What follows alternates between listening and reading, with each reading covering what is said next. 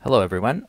Today I'm going to work at with some text. We're going to do some text processing and in the end we're going to make a word cloud out of some of the text processing we did.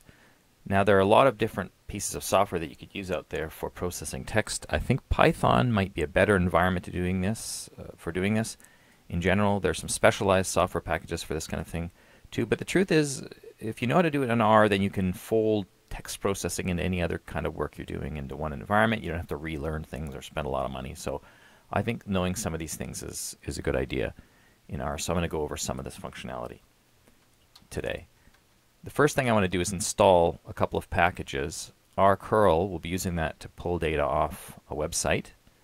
And the other one is WordCloud, which is the package we need for running the to making the actual word cloud. So, so if you've not already installed these packages, install them and then open up the libraries. Now, the first thing I want to do is download data. The trick here with rcurl is, is if you put a URL to a file that's up on a website somewhere. So this here is my website, and I've got a file up there called hockey.csv. It's a, it's a comma delimited file. I put that URL into this a, as an argument in this get URL function, which is part of rcurl. If, if I run this and I assign the data to this name here, and then I use this data frame read.csv function as it's written here, I can pull the data directly off the internet onto my computer. And that could be handy for a lot of reasons. It can be, it saves a little bit of time. It also allows you to, to work from data that that might be shared. Multiple people can pull it down without, alter, without altering it. So it's kind of good for instructional purposes. So now I've got these data. This is a file of hockey statistics from 1990. All the guys playing in the NHL, all the famous players of that era, none of which play hockey anymore, professionally anyway. So you got the Wayne Gretzky, Brett Hull, Adam Oates, all these guys. This is the player name. So uh, the the one thing I want to take a look at is the actual type of data as it's been imported. And the first thing I'll point out is R does not seem to always make ideal decisions. This is not uh, just R. All software does this, is imperfect in this way. That it, it's loading up a variable, a name variable, for example, and it's assuming it's a factor. And the truth is a name really isn't a factor. It's not really a factor variable at all. Names are, rather than being factors, they really should be strings. They should, because they don't really contain data typically. A name, especially a person's name, it's not really a data thing. It's nominal. It has uh, the value is, is, is, is not really quantifiable in the same way a categorical variable might be or a factor variable might be. So at some point in time, we're going to have to change this data type and kind of thinking about that. But, but I'll just go on to do a little bit of the early data processing. And, and I want to show a few important string functions that are common to other software. This first one is the substring function.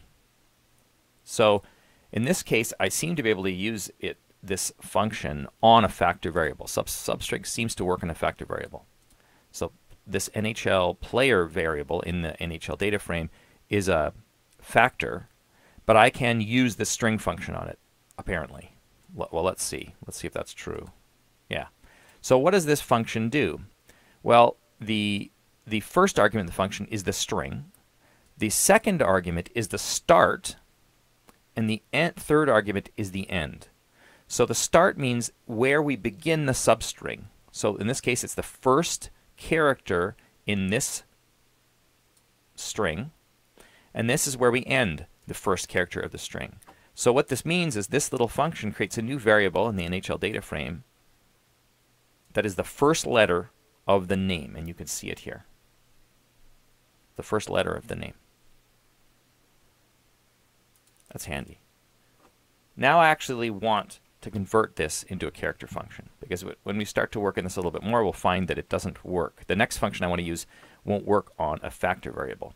So, so here I'm just going to force the player variable into character into character format, and you can see that that worked here. So that's easy enough. And then the next thing I want to do is extract the last character of a string. In this case, a, there's an extra step. There's a lot of ways you can do this, but this this is one way. So the I'm going to create a last character or, or last letter variable. I use a substring, substring function again. The first argument is the same. It's the name of the variable. The second argument is the length or the number of characters in that string. So if the name is 13 characters long, it's the number 13. And the third argument is the same. So it's basically going to the end of the, the string, and it's giving me the last letter. It's the same kind of thing as the in the in the first letter, extracting the first letter, except instead of one and one being the arguments, it's the length of the string. Not that useful. Uh, but let's go on to the next function I want to show you. These are this is this reg regular expression function. Regular expressions are really powerful for text processing.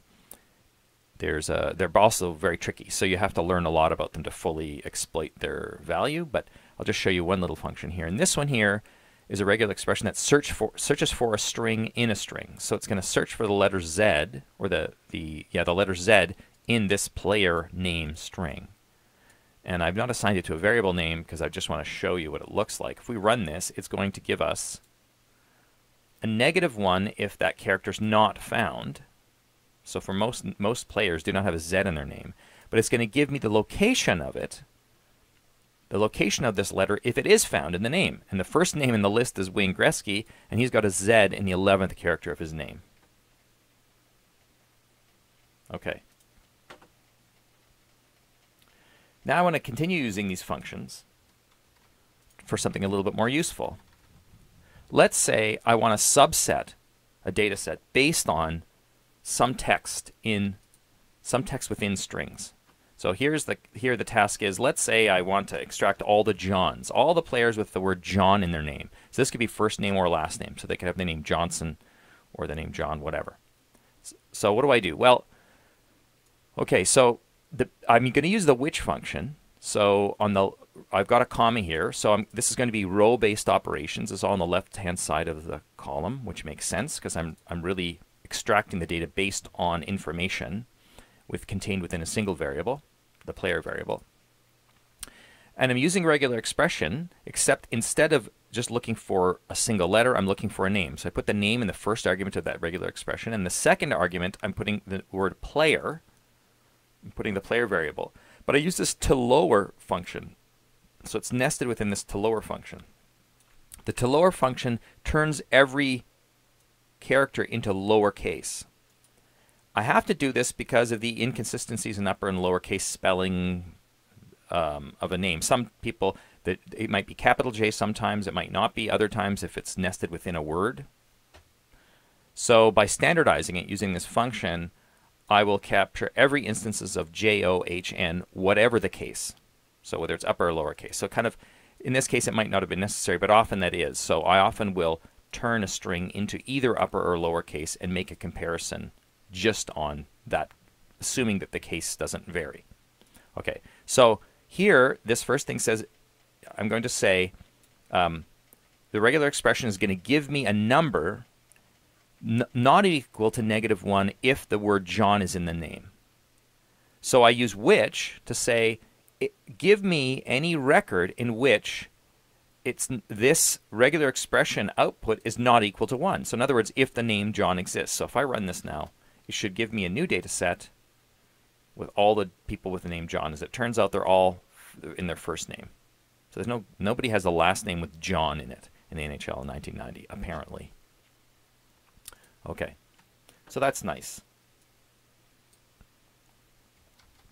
Now I can now I can use this some of this these little tools here to actually uh, create a last name variable.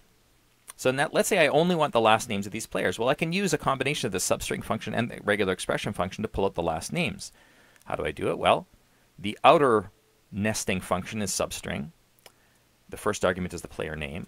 The second argument is a regular expression call that's, that looks for a space because the way the names are written is there's a space typically between the first and last name. So it's going to tell me where the space is, and that's where it's going to start looking for the name. So this is the starting point of the substring function. It's going to be where the space is, which makes sense. The space is where, just look at it. The space is where that last name will begin, right? Everything to the right of that will be the last name. So that's the start, and then the end is simply the length of the string. So if I run this, it's going to create a new variable here. Whoops, wrong one. It's going to create a new variable in the NHL data set we just scroll across here, which is the last name. Let's say do the same thing for the first name. The reasoning is reversed here.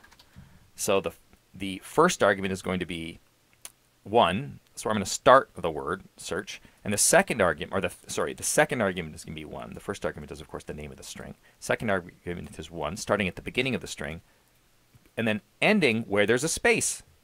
I run this function, and whammo, I have the first names in a variable as well. Look at that. Now, what do I want to do with this? Well, let's say I want to create a word cloud out of names. I want to find out what are the names that NHL players had back in the 1990s. So let's take let's continue. We'll do, take a, I'll show you through a few steps here. So I've now got all the names in this file, all the NHL first names here. So I'm going to create a variable, and that's going to be this count variable, just one. It's every record will be equal to one. The, the variable count will be equal to one for every record. And then I aggregate on that variable to create this aggregate data set, and then I rename it. So I'm going to create a new data set aggregated, so it's counting the number of instances of each name. So you've got Aaron, there's one Aaron in the NHL, three Adams, two Allens, one Alexander, and so on. One Elfie. Elfie. I don't remember an Elfie in the NHL back in 1990. Probably Swedish or something. Okay. So so we've got this. We've created this new variable. Or sorry, we've created this data set, this aggregated data set. Now the the last step is the actual making of the word cloud, and this word cloud function. There's a lot of little parameters to worry about setting, but all we're going to be concerned with here right now are these these four here. Actually, I guess we can talk about all these five. The last few parameters have to do with the appearance of it, but I'll just talk about the first few arguments in the function here. Okay. So the first argument is the name of the data set. Uh, sorry, the first argument is the name of the data file that we're going to be rendering, or the, the, the, the variable we're going to be rendering. So we're going to be putting names on this word cloud. This is where we specify what it is that we're actually going to be putting onto the word cloud. And it's going to be named. That's what we named the names in this aggregated data set. Frequency is going to be the count of those names. So the, what's the number, eh, which will ultimately influence the size of the names in the, in the word cloud. Minimum frequency says what is the minimum value of this variable that uh, that's required in order to print it. So any name that only occurred once is not going to be printed. This is looking only at the more common names in the NHL maximum words. This is puts a limit on the top 100 names. And then random order has to do with how they're how it's actually rendered visually. I believe if you were to put this by putting you get a different look of the graph using this. So actually these arguments all have to do with the appearance. So I'm just going to run this now. Just run this function so you can see it. And we get this nice little word cloud, which tells us, look at that. A lot of Mikes back in 1990. Dave's. If you put Dave and David together, probably had even more. Um, obviously, that would require some more da data processing where you started to substring out names to find common elements, like Dave and David maybe should be put into the same group. Steve and Stephen, and so on. Anyway, that's all I had to show today. Thank you.